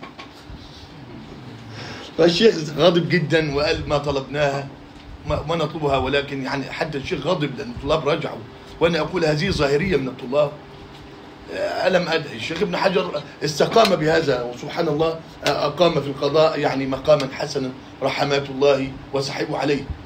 لماذا نحكم على الشيخ بالظاهرية هو تولى القضاء وأقام فيه واستقام وقوم. الطلاب أول ما علموا رجعوا. حتى لم يدخلوا إلى القاهرة. واضح يا مشايخ؟ فمن أجل التنبيه يعني مسألة المروءات من أجل التنبيه. إنما أصلا الفروع المروءة فرع العدالة. إذا ليس قيدا هذا. لا آه نعم. قيدا. نعم فرع. فرع منه من أجل التنبيه. يعني آه. على المغالبة آه نعم. آه على على فرع التنبيه. اقرأ يا مولانا. وخوارم المروءة هي كل ما يحط من قدر الإنسان في العرف الاجتماعي الصحيح مثل التبول في الطريق وكثرة السخرية والاستخفاف لأن من فعل ذلك كان قليل المبالاة. لا نأمن أن يس- أن يستهت- أن يستهتر. في نقل الحديث النبوي. وأما الأكل والشرب في السوق كما عدهما البعض خلاف المروءة فهما ينظر فيهما إلى العرف. وشرب وتناول بعض الأشياء في السوق لا يعد في عرف اليوم مخالفا آه للمروءة. طبعا بتختلف بحسب الأعراف والبلدان لدرجة أنك تجد في البلدة في آه، يعني أقصاها وأدناها أو شرقها وكذا مغايرة بين أعراف الناس يعني. فعلى حسب الضوابط ومشايخ من أفضل من تكلم في هذه المسألة خاصة المروءات سيدنا العلامة الإمام الموردي أبو الحسن الموردي في كتابه الحاوي الكبير أعني وهو من علماء الشافعية الكبار. سيدنا الإمام الموردي أبو الحسن صاحب أدب الدنيا والدين. الإمام الموردي في كتابه الحاوي الكبير. ما شاء الله أطال النفس بما لم أجده عند غيره. يعني لو أن باحثا أراد أن ي- يصنع بحثا أو يعرف ما يتعلق بهذا يذهب إلى كتاب الحاوي الكبير للإمام الموردي. ما شاء الله أطال النفس. إطالة يعني لا تتخيلونها. ولو ذهبتم يعني يعني إيه وهذا من أجل أن نربطكم بين التراث. اقرأ يا مولانا. إذا قال الشيرازي وينبغي أن يكون عدلا مجتنبا للكبائر منتزها عن كل ما يسقط المروءة من المجون والسقف والبول في قارعة الطريق. لأنه إذا لم يكن بهذه الصفة لم يؤمن من أن يتساهل في رواية ما لا أصل له. نعم. الثاني الضبط. الضبط لغة. يدور المعنى اللغوي للضبط على الحفظ القوي الحازم. واصطلاحا تمكن الراوي من نقل المروي كما تلقاه. نعم. وأقسام الضبط. ينقسم الضبط إلى قسمين. الألف ضبط الصدر وهو أن يثبت الراوي أن يثبت الراوي في صدره ما سمعه بحيث يتمكن من استحضاره متى متى شاء. طبعا المشايخ آه، حقيقة آه، ده معيارية نفرق. الإمام المشايخ اللي هو بيدعي حفظ القرآن ويقول لك مثلا أنا قبل التراويح أحضر طيلة اليوم ليس بحافظ. هذا ما عدناه من شيوخنا إن الشيخ معنى كلمة حافظ يعني في أي وقت. قد يند عنه بعض الأشياء إنما في الأصل هو موجود في المحفوظ. إنما إنني كوني أحضر كوني أظل أراجع ده بيسمى يعني ليس حفظ دقيق إن هو في أي وقت في وقت ما يستدعي حفظ. آه، يعني حقيقة يا مشايخ من أعجب ما رأيته آه، من من آه، حافظة في حياتي كان لبعض طلابي من موريتانيا وسألته في فتح الباري كاملا. مشايخ فتح الباري. فتح الباري 13 مجلدا. يحفظه لا يخرم منه حرف. هذا من من أعجب ما رايت في حياتي. وكان يجلس معي في أصول الدين. لو هو موجود لأتينا به لكم. يحفظ فتح الباري مولانا كاملا. خلى بقى الكتب الستة خلى الموطأ خلى المدونات الكبيرة في المالكية وفعلا آه، يعني استحضار عجيب. استحضار عجيب حقيقة أهل الشنقيط وأهل موريتانيا فده معنى هو ما قال لي أحضر أو أي هو ما شاء الله. حفظ عجيب. واضح مشايخ ده معنى الحفظ أنه يستحضره متى شاء. يكون عنده. واضح ده معنى حفظ السطر. واضح؟ كما قالوا ليس بعلم ما حوى القمطر ما العلم إلا ما حواه الصدر وكما قال عبد الرزاق العلم مع يعني هو لا يقصد يعني اللي هو مع ما دخل معك الحمام. يعني يقصد إن هو في صدرك يعني. تذهب يمنى يسرى وفي صدرك. هذا معنى ضبط الصدر وكان مشايخ موجود عندنا عند ال- الأوائل لدرجة إن الشعبي عامر بن شراحيل كان يسد الأذن مخافة أن يعلق بقلبه ما سمعه لقوة محفوظه. يعني لو مر على على شيء حفظ. تخيلوا مدى حتى قال لو تعلم أعني أي أي رجل من ما تعلمت من العلم ما نسيته لكان عالما. لو تعلم أحد فحاجة عجيبة. إن هو قوة المحفوظ لاعتماد الأمة عليه ولكن بعد توفر أدوات الكتابة خاصة في بداية الدولة العس- العباسية بعد 132 وجدنا عناية علماء الأمة بالموازنة بين المحفوظ في الصدر والمحفوظ في الكتاب. اقرأ يا مولانا. الباء ضبط الكتاب وهو صيانة الراوي لكتابه منذ سمعه فيه وصححه إلى أن يؤدي منه. طبعا المشايخ بتعترض لنا مسألة الإدخال وهي مسألة دقيقة الإدخال على الرواة. بلغ بعض الناس من الدقة في التزوير أنه هو قد يزور خط العالم أو خط الناسخ ويضع في الكتب أو الأوراق ما يشبهها تماما. يقول لك "و- وأدخل على فلان فأفسد حديثه. وكان من هؤلاء سفيان بن وكيع بن الجراح. لدرجة إن آه، أبا حاتم الرازي وأبا زرعة يا شيخ يعني ده موقف أدبي آه، من أجل آه، أعني والده وكيع بن الجراح ذهب إليه العالمان الكبيران وقالوا له وقال له يا هذا لو لم يكن إلا أن يرحل إليك من أجل أبيك لكفاك. إن هو يحفظ أعني حديث أبي. فقالوا عندك وراق سيء أخرجه ونحن نضمن لك أن نأتي لك بوراق آخر. فوعدهم وعدهم أن يصنع يعني. ولكن بعد تتبعهما أنه لم يصنع. فتكلم فيه بكلام شديد وإن الوراق هذا أفسد حديث سفيان بن وكيع والراجح في حالي أنه ضعف ضعيف ضعف مطلق. يعني ضعيف يا مشايخ بسبب هذا الإدخال. فالإدخال دي إشكالية إن هو بتعتري ضبط الكتاب. إن هو يصنه في حرز لأن ممكن الطالب يدخل أو يخرج من الكتاب ودي إشكالية كبيرة خاصة لو أدخل في أصل الكتاب. فبذلك أفسد حديثه من علم. في عندنا مشايخ حاجة اسمها الأصناف اللي هو العالم يكتبه من شيخه ويكون محفوظ. لو أفسد هذا لما بعده لبعده أفسد لأن رأس العين فسدت. هذا بيسمى عندنا الإدخال وله إعلال كثير لدرجة لو أن باحثا تصفى علل الدرقطني وعلل ابن أبي حاتم هيجد إعلال مرويات كثيرة بسبب الإدخال على الرواة. وسبحان الله علماء الحديث ضبطوا هذا الأمر. تخيلوا مدى الدقة أنهم أدخل وهذا لم يدخل وهذا جراء ضبطهم لعلومهم. رضي الله تعالى عنهم اقرأ يا مولانا الثالث اتصال الإسناد. ويعني أن كل راو في الإسناد قد تحمل الحديث بطريق صحيح عن شيخه إلى منتهاه. الرابع سلامة الحديث من الشذوذ والشذوذ بإطلاقاته طبعا يا مشايخ أن اللي هو تحمل الحديث اللي هو اتصال الإسناد أعني يا مشايخ لما بندرس الأسانيد بيعجب لا يعجبني من الطلاب أن هو بيدرس حلقات منفصلة. يعني يدرس مثلا آه، شيخ الترمذي عن شيخ شيخي منفصل. يذهب إلى التقريب ويذهب إلى الكاشف وكذا هو كأن حلقات منفصلة. لا يا بني الإسناد ينظر فيه بالكامل العلاقات البينية بين الشيوخ. كنت آه، بان الطلب في البدايات نحكم على الأسانيد منفصلة. هذا آه، لا يستقيم وصناعة الإسناد. يكون عندك معيارية. الشيخ هذا في أبي إسحاق. أبو إسحاق في هذا الحديث بخصوصي. هل أعل عليه؟ لابد بعد بعد النظر الجزئي تنظر للإسناد نظرة كلية. وهذا ما يدلل على عمق دراسات اعني آه، نقاد الحديث إنه بينظر الإسناد كاملا من عند آه، شيخ البخاري إلى شيخ إلى شيخه لا ينظر حلقات معزولة اللي هو مسألة اتصال الإسناد. وعلماء لدرجة إن سيدنا البخاري اعني مسألة الاتصال والانقطاع ألف أصلا التاريخ الكبير آه، ثلاثة عشر ألف ترجمة من أجل هذا. أدار الكتاب على مسألة الاتصال والانقطاع. وكل المرويات يأتي بها من أجل يبين سماع فلان أم لم يسمع. ثبت اتصل أم لم يتصل.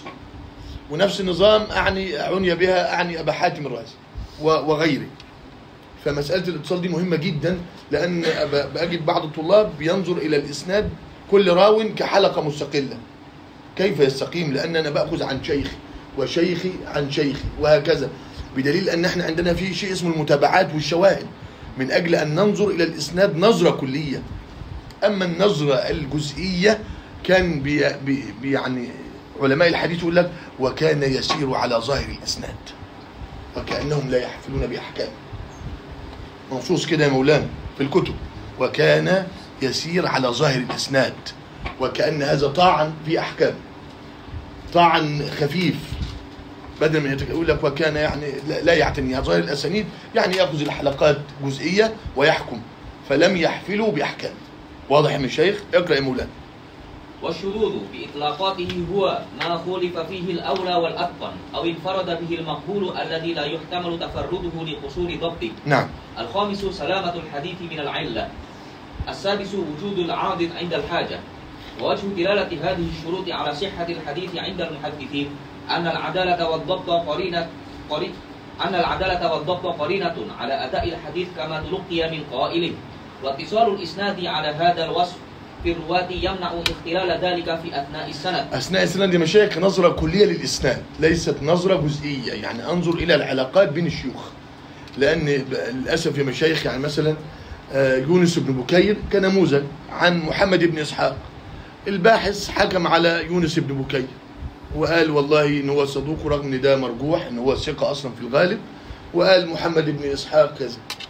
ولم يع... وغفل عن العلاقات البينات لا يعلم إن أصلا يونس بن بكير كل ما تكلم فيه من أجل إغرابه الكثير غرائب تفرد بها عن أصحاب محمد بن إسحاق. الباحث أصلا ما عنده هذه النظرة أصلا للإسناد. فيبتدي هيصحح ويضعف بدون مستند. فلا بد من النظرة الكلية للأسانيد. علاقة هذا الراوي هل له غرائب؟ هل له أوهام؟ هل كان عنده مسألة الضبط مسألة التحمل عن الشيخ؟ كل هذا نتبعه. بعض الطلاب سيسألني يا مولانا آه، ما الكاشف لهذا؟ حقيقة يا مشايخ آه، غالب آه، وأنا آه، يعني انبه على هذه القضية. أعني مسألة كتب السؤالات مهمة جدا جدا لطالب العلم لأنها بتعنى بهذه القضايا. لأن السؤالات يا مشايخ عبارة عن كبسولات دقيقة من العالم إلى التلميذ. وأيضا عصارة خلاصة وإشكالات التلميذ للشيخ. سبحان الله يا مشايخ الآن وصلنا إلى أظن آه، ثلاثين كتابا من كتب السؤالات. والحمد لله مطبوعة بتمامها.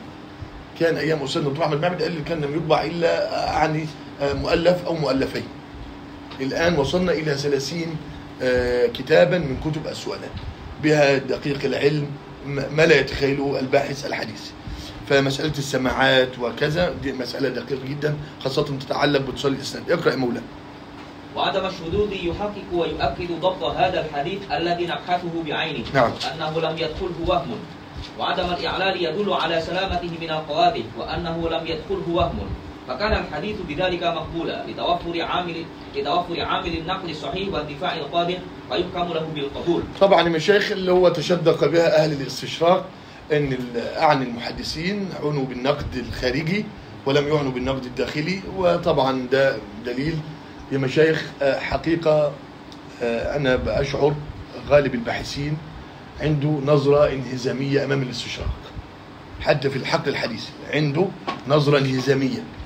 بيسميها أستاذنا وشيخ شيخ الشيوخ سيدنا الشيخ عبد الله بن بية العلامة الموريتاني آه، العلامة الكبير يعني صاحب المآلات والمقاصد بيسميها ظاهرة الضغط الحضاري. الضغط الحضاري. ننظر إلى كأننا ب ب ب بقدم مقطوعة وأن المستشرق هذا عنده الموضوعية وعنده جوانب العلم وعنده كل نقد فبتجد حتى عندنا الردود تكون مبتسرة.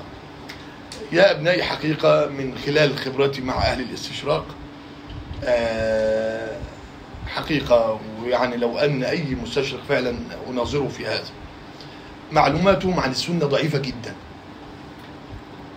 يعني لا يقول أحد إن الاستشراق ويبقى حافل جدا كله آه، خاصة ال- سواء آه، يعني أنا أعرف وعندي مؤلفاتهم وعندي نقد عليها يعني ألف باء طالب في أصول الدين عنده وعي لو هو طالب جيد عن هؤلاء الذين ظلوا في الدراسات الاستشراقية خمسين عام. لدرجة بعضهم بقاله حوالي أربعين عام لم يحرر يعني إيه مفهوم المدار؟ وأنا عندي من كتابي أتيت إن هو عنده وهم إيه نظرية المدار أصلا؟ لأنه علوم أعني بعيد جدا عنه وأخذها من مستشرق آخر مع حاجز اللغة.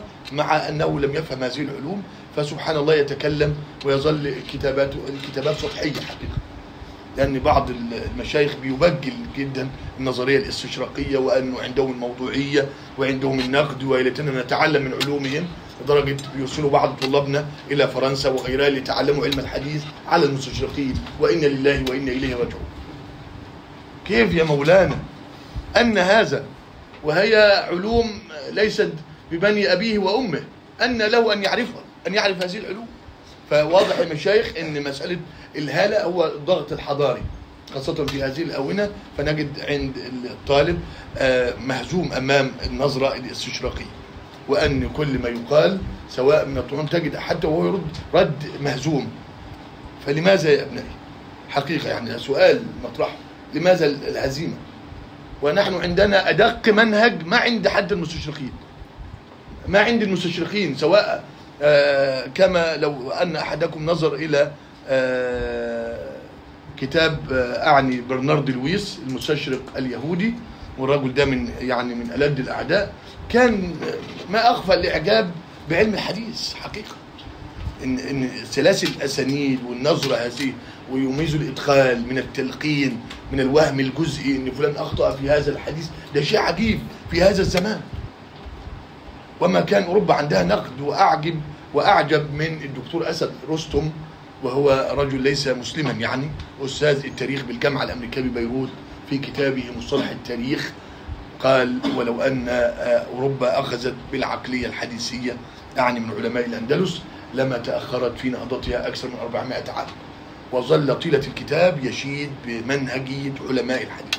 لدرجة هو كان أخذ الدكتوراه من أوروبا فلما ذهب إلى المكتبة الظاهرية بسوريا وهو كان من لبنان ووجد كتاب الإلماع للقاضي عياض فقال وقفت على بغيتي وقال إن هنا لأن عياض يا مشايخ نقل عن أحمد وعن أئمة النقد لدرجة نقل حاجة اسمها الدارة عند المحدثين. الدارة اللي هو الصفر يفرقون بين المرويات أو معنى المقابلة وأن الحديث قبل شيء عجيب جدا. وظل الرجل يعني يشيد بمنهجية علماء الحديث سواء في مستوى نقد الخبر أو آه، ثبوت الخبر أو تلقي الخبر منهجية عجيبة. فلماذا أنا أقول الانهزامية بسبب الضعف إن الباحث أصلا لم يتصور علوم المحدثين ووقف عند المصطلح. واضح يا مشايخ؟ فأي مستشرق لو أردت أن تهزمه ادخل معه بس في في دائرة العلل. وأنا والله متحديا والله الذي لا إله غيره متحديا وعلى رؤوس الأشهاد إن هو أجيب له له حديث مضطرب من سبعة وجوه أن له استحالة يا ابنائي استحالة عقلية وطبيعية وخارجية وداخلية. ولكن الضغط الحضاري يصنع أكثر مما نتخيل. فنحتاج مشايخ إلى مسألة ضبط هذه الأمور وأننا آه، يعني آه، لا نحتاج إلى يهودي أن يقول ليفخر أهل الحديث بعلم حديثه لا نحتاج أن نقول هذا عن مرجليوس. هل نحتاج؟ لا نحتاج. يبتغون آه. اقرأ يا مولانا ربنا يبارك فيك. ويتحقق ويتحقق الباحث في الإسناد من وجود شروط القبول أو عدم وجودها بأربع خطوات رئيسة وهي الأول الأولى النظر في عدالة الرواة وضبطهم وهو ما يعرف بالجرح والتعديل. الثانية النظر في صحة تحمل كل راو ممن فوقه لهذا الحديث وهو ما يعرف باتصال الإسناد أو انق- وانقطاعه والثالثة النظر في الطرق الأخرى للحديث للتأكد من تفرد أحد رواة الإسناد بالحديث. الرابعة النظر في كلام العلماء على الحديث من حيث الحكم ووجود الإعلال من عدمه طبعا يا مشايخ ال- ال- المتقدم لما بيشير إلى علة آه، بعض الطلاب المعاصرين بيهمل هذا لدرجة من أعجب ما رأيت في حياتي أن أبا داود قال وهذا حديث منكر. المحقق ولن أذكر اسمه لأنه توفي رحمة الله عليه وقال ولا يسلم لأبي داود. أبو داود هو المؤلف هو الذي جمع عن شيوخه وأن أبا داود أخطأ. هذا يا مولانا موجود في الكتب. ده أبو داود الم... صاح- صاحب السنن. هو. بيقول إن ال- الرواية موهومة والحديث بوهم فيقول يعلق على تحت في الآن ولا يسلم للمؤلف. فإن الرجل ثقة. وإن لله وإنا إليه راجعون. آه، هذا يدلل على السطحية في الأحكام مشايخ وأن غالب من حقق بعض الكتب هو بيصير عنده طلاب أو عنده كذا بعض الباحثين ويدخل على الكمبيوتر آه، الشاملة كذا كذا. آه، أي لدرجة بعضهم قال لي أنا كنت بحكم على 100 حديث في ساعة. بعض المشتغلين بهذا بإفساد التراث. لا لا نقول أنهم يحققون التراث. فبيقول وكان حتى الطالب يكلف بالحكم على 200 حديث في اليوم. فقلنا له كيف هذا؟ وهذا صعب جدا. ده لو أن شعبة موجود ما استطاع. والله ما استطاع. ده شعبة قلت له يا بني شعبة كان قتادة شيخه يعني بيحبه جدا. بيحب شعبة يعني لعنايته بالحديث. فكان يسمع منه ثلاثة مرويات ثلاثة أحاديث. فقتادة يود أن يزيد يقول لا يا سيدي حتى أحفظ. شعبة بما يعني سبحان الله. وأنت تحكم على 200 حديث. فقال لي يا مولانا ولا سهل خالص. يعني أي حكم نقلي وأي أي حديث أقول مجهول ما, ما تفرق معي. لدرجة يا مشايخ الدكتور عبد الملك دهيش محقق المختار الضياء المقدسي. فرجل يحكم على الحديث بلغة معاصرة حسن لغيره كذا. المحقق اللي هو بيدعي التحقيق هذا يقول وقال البزار أو وقال الضياء إسناده صحيح لغيره. وقال الضياء فقلت يا ربي الضياء أصلا مالوش بنفس اللغة هذه وإن اختلف في كذا وكذا. ده لغة معاصرة هذه. استحالة. استحاله يحدث هذا. الضياء استحاله يكون له هذا. فلقيت إيه يا مولانا؟ في الشمله أضافوا أحكام الراوي أحكام عبد الملك دهيش على الضياء المقدسي. يجيب لك الضياء ويجيب لك وقال عقبه وقال آه اللي هو كلام المحقق. فهذا المحقق البئيس نقل كلام المحقق كأنه كلام للضياء المقدسي. وقال كده بيقول في في الهامش وقال الإمام الضياء المقدسي في المختارة هذا إسناد صحيح لغير واختلف فيه على كذا وكذا. وتبقى كارثة بقى لو قال إيه يراجع الألباني. تبقى كارثة. واضح يا مشايخ بقى الشاهد إن ده دليل على أن هؤلاء لا علاقة لهم بالعلم. وانه لو أتى الشيخ أحمد شاكر الشيخ محمود شاكر وهؤلاء لا, لا, لا ضربهم بالجريد. ولا قام عليهم حد الحرابه لأنهم يفسدون تراث المسلمين حقيقة. يا أخي تود عمل اعمل في أي حاجة يا أخي. اشتغل في أي شيء. اعقمت بك الحياة إلا إفساد تراث المسلمين. وحقيقة مشايخ من نجده يبتر تراث المسلمين ندعو الله عليه. ألا يبارك لا في وقتي ولا في ولدي ولا في أي شيء. حقيقة لأنه أفسد تراث المسلمين لأنه بيظل الإشكالية سواء في الفهوم لدرجة يعني لما نجد الإمام ال- الصغاني اللي هو بعد موته آه، أوصى أن يدفن في الحرم في فبيسمى يا مشايخ آه، مكي الملحد يعني اللي هو دفن بعد وفاته في بلاده آه، أوصى أبنائه ودفع لهم النقود وقال ادفنوني بجوار الفضيل بن عياض في الحرم. فهو كده يعني ألحد في مكة. فلدرجة إيه؟ آه، الرجل ضبطها آه، آه، مكي الملحد. لدرجة بعض الناس كاتب كتاب الملحدون في الإسلام ودخل فيهم الإمام الصغير سبحان الله. وإنا لله وإنا إليه راجعون. دليل على على عدم وحي. فيا مشايخ مسألة التحقيق مسألة مهمة جدا لها أدواتها. ولها ضبطها لا أدخل على هذا الجانب إلا بعد التمرس به وبادواته اقرا يا مولانا. آه تمام يا مشايخ يعني آه الحمد لله يعني إيه آه نقف إلى هذا آه القدر. وإن شاء الله بإذن الله تعالى مشايخ آه بالنسبة للكتاب هو ال- القائمين يعني يعني يعرفوا الأعداد. وإن شاء الله نتصل بالناشر يوفر لكم الكتاب وقد نأتي به هنا إن شاء الله. نسأل الله أن يحفظكم. وأن يبارك فيكم وأن يسدد خطاكم وأن يرزقنا وإياكم حسن الانتفاع بالعلم. آمين. والسلام عليكم ورحمة الله وبركاته. بارك الله فيكم. الله يحفظكم. أنتم كنتم من تلميذ الدروب هناوي لا ده أنا بقول على سبيل المجاز إن هو شيخي في الماجستير وحتى البزار شيخي في الدكتوراه. أنا تيمنا يعني بعلمائنا. لأن المناوي متوفى 1031 1031 الله يحفظكم ولا ربنا يبارك فيكم. بارك الله فيكم يا نعم كل. أنا عندي بعض الأحاديث آه. آه. ورد فاتت. آه نعم. لعله هو ذكر بمعنى ولكن يعني لم أجد آه نعم. من أين أجد؟